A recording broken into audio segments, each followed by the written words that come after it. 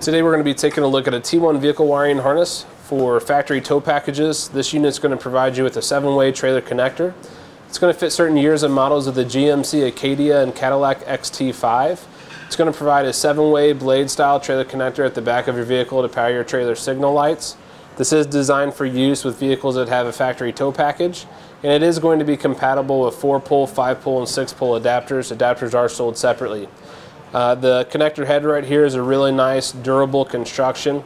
It's going to have the pre-drilled mounting holes that allow for easy installation to a mounting bracket. The lid is a spring lid, so it closes automatically. It's going to remain shut to keep out dirt, moisture, and grime. It's also going to feature a nice rubber gasket on the back side of the lid. That's going to create a really nice weather-tight seal. The unit also features wire loom that protects all the wiring and it keeps the wires together. Now this system is designed to connect quickly and easily. You don't have to worry about cutting or splicing any wires. It's also going to come with your detailed installation instructions.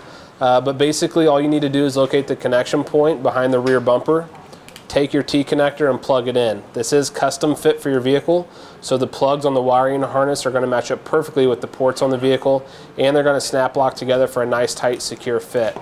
Once you have those plugged in, all you have to do is secure any excess or slack in the wiring with the included cable ties. And then once your installation is complete, the seven-way connectors are going to be stowed beneath the vehicle near the trailer hitch.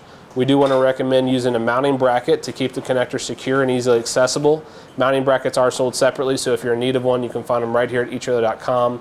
It's also recommended that you use a small amount of dielectric grease in all your electrical connections, like the plugs on the vehicle and the 7-pole connector itself. The grease is going to help prevent corrosion to the connection points.